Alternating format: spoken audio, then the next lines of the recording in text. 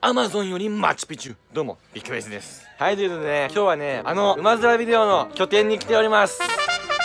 勝手に侵入されました。めっちゃ数えてるの。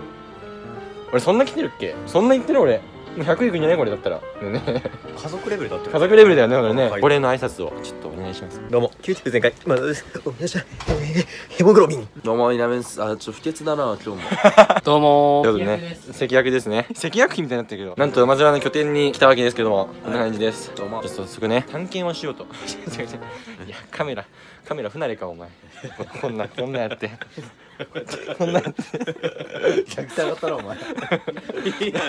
あれだ馬面ハウスをね探検したいなと思ってガサ入れか？ガサ。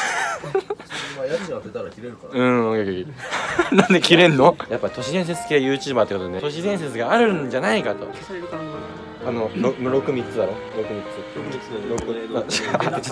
6 666悪魔の数字だっけ？なんだっけ？悪魔の実。あ悪魔の実だそうそうそう。それだ。あそれワンピースじゃね じゃああのあの案内役で山寺さん来てください。ちょっと。行きましょ。うはい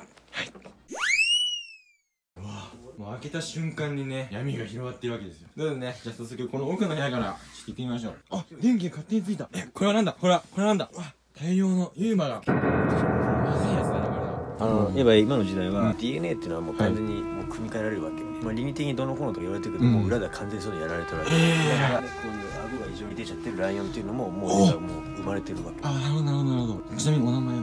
これ？はい。うんとなんだっけ？ケフサフサこれだこの DNA っていうのは、ライオンとクッキングパパ。でも料理は上手だよ。あ料理料理うまいんだ。料理上手料理うまいんだ。料理は上手ね、初手から怖いものが来ましたね。天童の箱さあげちまったんだよねあそんななまってたけどこの絵には、う悪魔の数字って言われてる666っていうね数六字がうん隠されてるってでしょ、うん。わかります隠されてるんです。一つ出てるね。分かる人には分かるっていうメッセージとしてもこの部屋に隠されてるんです。恐ろしいですね。これなんだこれ？閉じ込められた。このワンピースのキャラクターたちが。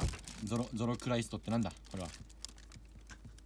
熱い熱い熱い熱いどうしたどうした熱い何何何何？What's up?